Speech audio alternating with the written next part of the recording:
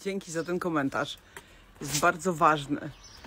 Mm, ja zaangażowałam się, jestem polityczką partii Razem, polecam tą partię, ale to wszystko, co robię, oprócz tłumaczenia tego tak naprawdę, o co nam chodzi, jest też o tym, że my wszyscy, ja również, potrzebuję waszego, mm, waszego uczestnictwa, waszego zainteresowania.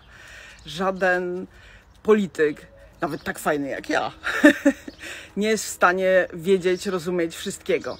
Dlatego bardzo, w Polsce zwłaszcza, potrzeba nam tego, żeby te sprawy wpływania na rzeczywistość odkłamać. Przyzwyczailiśmy się do tego, że ktoś nam ustala jakieś reguły z nie wiadomo jakich przyczyn, um, ale to jest wielkie kłamstwo. To zabiera nam możliwość decydowania, to nas ogranicza, um, a musimy sobie zdawać sprawę, wszyscy, um, że my powinniśmy współdecydować i zdawać sobie sprawę z tego, co się dzieje.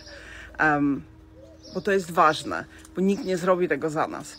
Bo każdy z nas, nieważne jakie ma wykształcenie, ile ma lat, jakiej jest orientacji, e, do jakiej mniejszości należy, jakim językiem się posługuje, ale mieszka tutaj, tym miejscem związał swoją przyszłość i teraźniejszość i dlatego powinien móc się wypowiedzieć um, o tym, co się dzieje, o tym, co powinno się wydarzyć i móc możliwość, móc mieć możliwość, żeby na to jakoś wpłynąć, wyrazić swój głos, swoją opinię i po prostu wziąć sprawy w swoje ręce. Nikt nie zrobi tego za nas.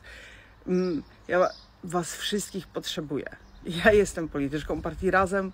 Zachęcam do tego, żebyście do nas się akurat nie zapisali, przystąpili z nami, pracowali dalej ale partii jest dużo, jest dużo stowarzyszeń, NGO-sów, różnych innych form e, współdziałania.